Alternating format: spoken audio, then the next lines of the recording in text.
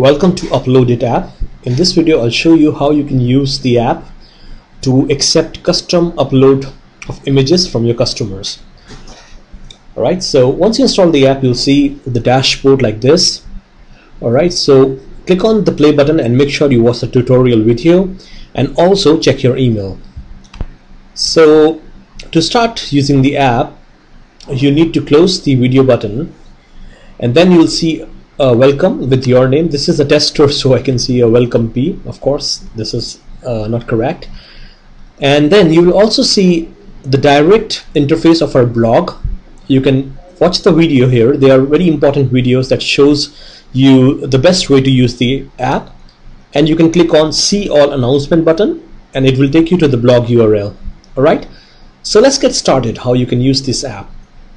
First of all click on new upload set and there you can see a small uh, uh, window in which you have five options to uh, use the app. So for example if you just want to show the upload button or accept upload of files from your customer for only one product then you can use the URL option. This is the best part best way to use the app. Okay? But if you want to accept if you want to show the upload button in many many different products in that case you can use the other option like vendor or tag or handle or product type etc in this video I'll show you how you can use uh, the URL and the product type option to accept custom uploads. So for that let's uh, go to the sample product. Okay this is the sample blog and we have imported certain product and there let's see the uh, specific product type. So as you have seen in the in in, uh, in the app you have option like URL product type and product vendor. So this is the product type and this is the product vendor. So let's say we need to show this uh, upload option in coffee tables. All right. Let me show you the product first this is the product URL all right. And for now let me just copy the URL and go back to the app and paste it into the field where it says URL is. Okay. And in the label you can name it upload here. Field name let's just leave it like upload.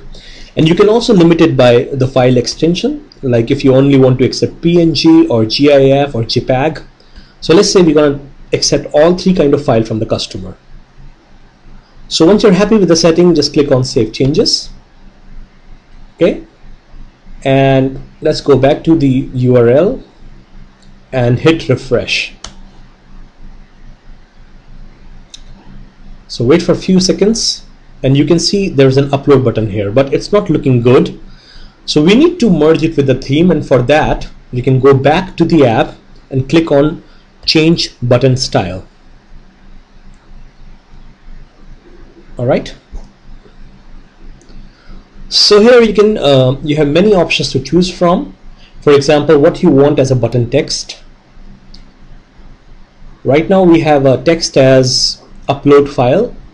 We can change it here to click here to upload.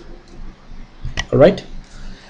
And we can change the button background color to match it with our theme. For now here's a small window. Let's change it to let's say green. Alright?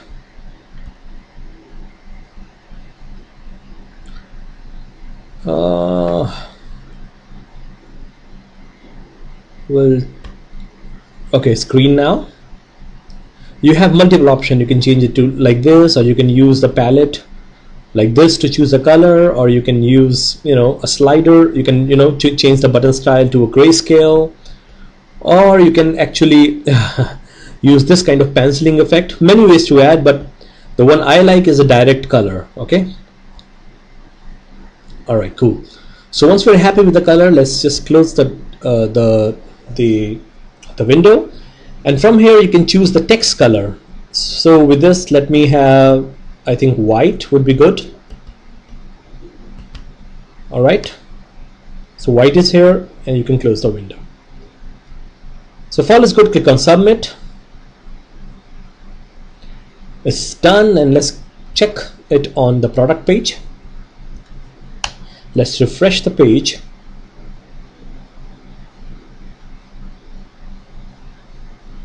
and you can see the button is ready. Okay? That's it's, it's very simple and straightforward. Now you can click your customer can click on the upload button and let's say they need to choose an image like this. So it's done.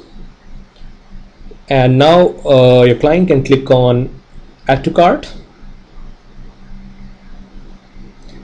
you can see that uh, it has already added the image here Alright, so now your, your client can complete the order, your customer can complete the order and this image will automatically be available in this specific order. So remember, if you want to find this image, you need to uh, check the order details in your Shopify store. Like this, you know, for example, you click on order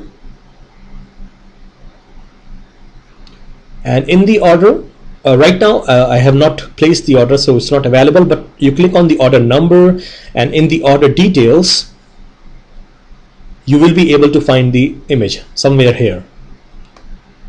Alright so it's that simple. You can customize the button text color and finally you have one more option called S3 settings.